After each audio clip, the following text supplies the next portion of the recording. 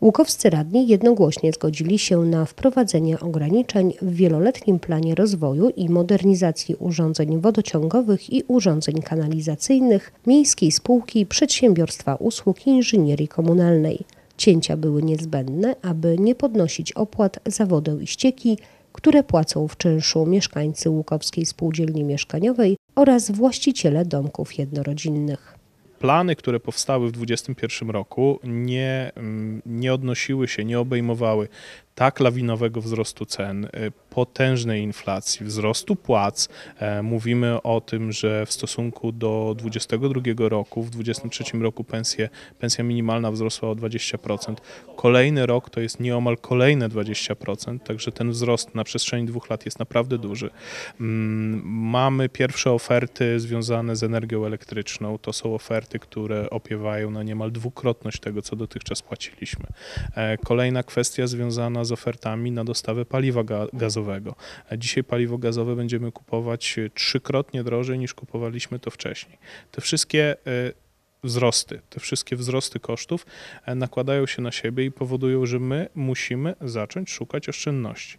Te oszczędności są po to, aby wszystkie, całego wzrostu kosztów nie przerzucać bezpośrednio na mieszkańców. Podczas sesji, na której podejmowano tę decyzję, ze strony radnego Artura Gałacha padła propozycja, aby miasto nie pobierało dywidendy od swojej spółki miasta gdyby w pewnym sensie zabrało z pujku milion e, złotych. Uważam, że ten milion złotych mogło spokojnie zostać w spółce i mogłoby zostać przeznaczone na te inwestycje, które teraz przed chwilą żeśmy no, w, pewnym w pewnym sensie zmniejszali. Uważam, że pieniądze wypracowane, zysk wypracowany przez spółkę raczej w całości zawsze powinien pozostawać w spółce i pamiętam za poprzednikiem burmistrza Szóstka, żeśmy dywidendy y, od spółki nie brali i myślę, że nie warto jej brać, niech to co wypracuje spółka, niech wykorzysta, niech nie bierze pożyczek, niech robi inwestycje, a nie my im zabieramy pieniądze do budżetu miasta. Co na to burmistrz występujący w roli właściciela spółki PUIK? No jest to jakaś propozycja, natomiast miasto biorąc pieniądze przecież nie wyrzuca tych pieniędzy na, na śmietnik, tylko te pieniądze są e, inwestowane tutaj w mieście, czy to w edukację, czy to w, w drogi, czy w inne, e, w inne formy działania.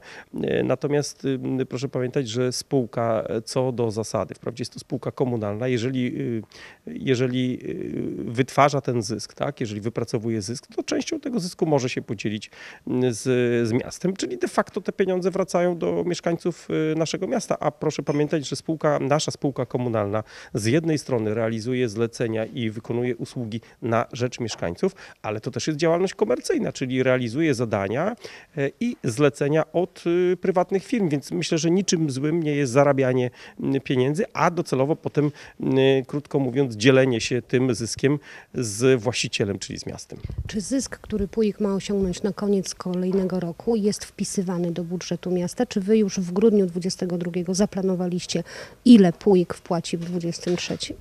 E, tak, na ten rok jest wpisana kwota około 400 tysięcy złotych jako dywidenda z, ze spółki do kasy miasta. I na co te pieniądze są przeznaczone? Bo według radnego Artura Gałacha mogą one na przykład zostać przejedzone przez promocję. E, no ale przepraszam bardzo, to pan radny jest wiele lat już radnym i nie wie, że o kształcie e, budżetu decyduje właśnie on, pan radny Artur Gałach?